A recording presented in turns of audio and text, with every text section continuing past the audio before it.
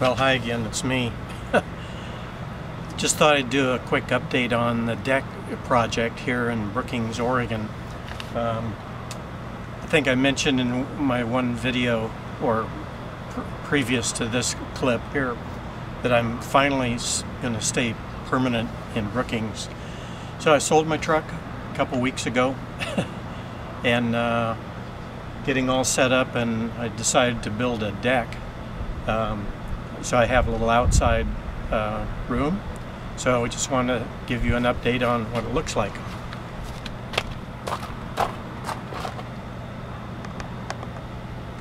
So this is uh, the deck. It's got um, uh, six uh, 4x4 posts coming up.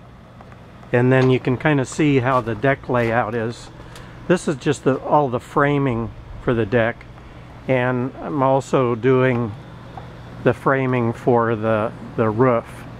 Going to put uh, sheet plywood and tar paper up on the roof. And then there's